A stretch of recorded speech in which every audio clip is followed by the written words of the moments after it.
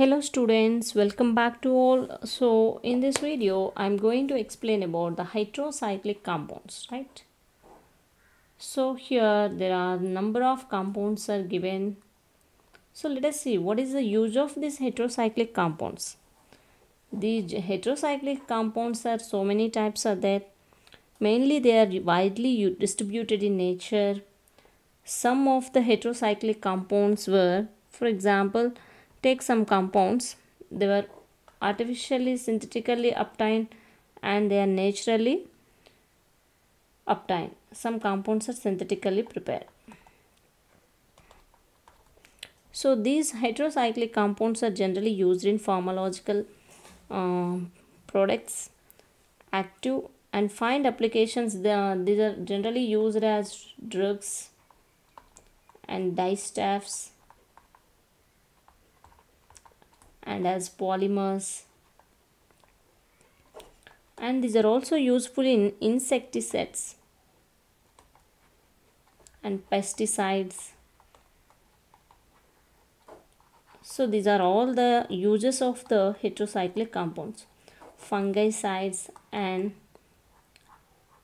herbicides and also adhesives so what are the uh, uses of heterocyclic compounds mean there is a long list.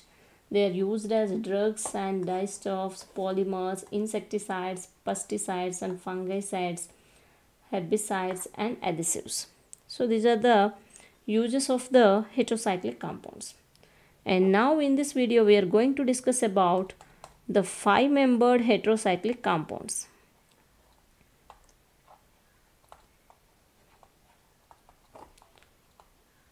So the five membered heterocyclic compounds. These five membered heterocyclic compounds generally may be considered as the derivatives of pyrrole, furan and thiophene. So if you observe here what is the pyrrole? What is the furan first? So this is the furan.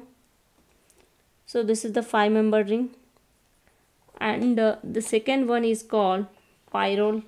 This is also five membered ring and thiophene and this is also 5 member ring. So if suppose when a n functional is replaces with CH groups in the first and second position of furan if suppose the first and second position of furan and pyrrole and thiophene is changing then it forms azoles. So the furan will be converted into isoxazole which means this is the first and second position. At the second position there is, there is a functional group N. So in the pyrrole in the second position if N is added here N function is added is then it is called pyrazole. In the, in the case of thiophene, if n function is added at the second position, it is called isothiazole. If suppose, in the similar way, if the function n is replaced in the third position, for example, this is first, second and third position. So this is third position. So this is second position in this case. So here third position then it is called oxazole which means oxazoles and isoxazoles are the derivatives of furan. So when you know about the furan then you will find what is isoxazole and oxazole. In the same way in the second case also the pyrazole and imidazole. So these two are the heterocyclic five membered compounds which are also obtained. If the n function is replaced in the second position then it is called pyrazole and if it is replaced in the first, second and third position then it is called imidazole. So imidazole and pyrazole are the derivatives of pyrrole. In the same way the thiophene is, this is the thiophene. If the n function is substituted or uh, replaced in the second position this is called isothiazole and if it is replaced in the third position first second and third position this is called thiazole so here where today we are going to discuss about these heterocyclic compounds which are containing two heteroatoms. So, furan from furan, isoxazole and oxazoles are derived. And from the pyrrole, pyrazole and imidazole is derived. And from the thiophene, isothiazole and thiazole will be derived. So, we have to know one by one. So, first today class we are going to discuss about isoxazole. So, already we know isoxazole. It is derived from the furan and it is a 5 membered heterocyclic ring. At the second position N function is substituted. So, this is isoxazole. So, first in today video we are going to discuss about this isoxazole's reaction. How what are the reactions of this isoxazole? What are the chemical reaction?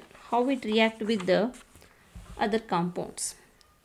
So, first the reaction of electrophilic substitution reaction. Electrophilic substitution. So, this electrophilic substitution Generally, isoxazole is a weak base.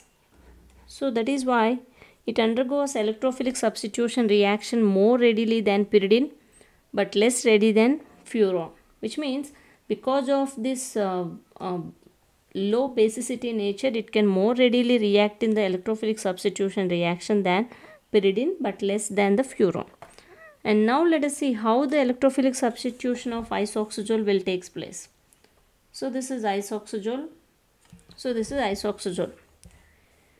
These isoxazoles, electrophilic substitution of this isoxazole reaction always takes in the fourth position.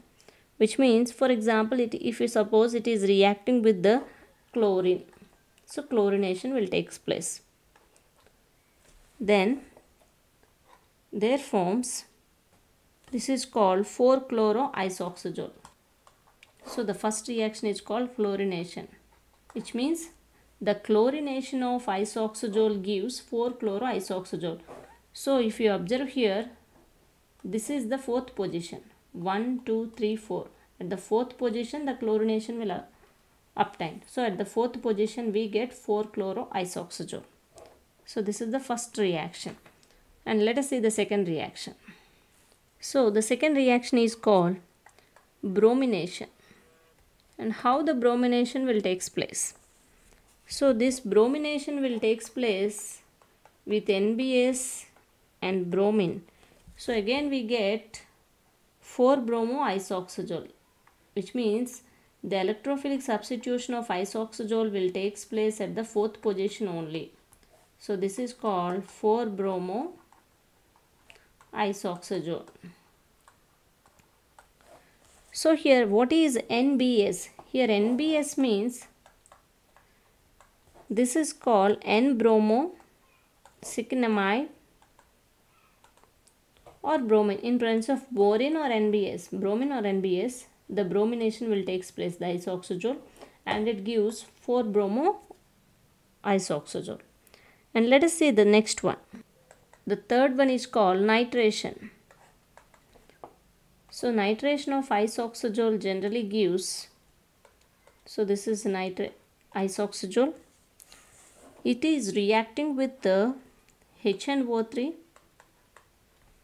or and H2SO4. So, so the by nitration we get NO2 which means this is called 4-nitroisoxazole which means the nitration also takes place at the fourth position. So the 4-nitroisoxazole is obtained on nitration with concentrated HNO3 and concentrated H2SO4. How the nitration of isoxazole takes place means the isoxazole reacting with the concentrated HNO3 and concentrated H2SO4 we get 4-nitroisoxazole. And finally the fourth reaction. So the reaction with the oleum. So other words you may call it as fuming sulfuric acid.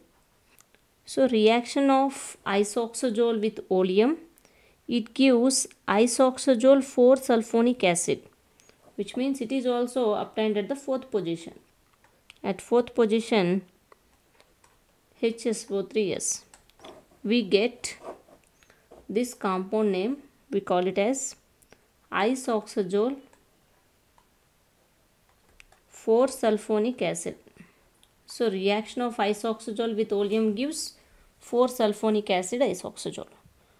So this is the reactions of what you call isoxazole electrophilic substitution reactions of isoxazole what we have discussed in today class.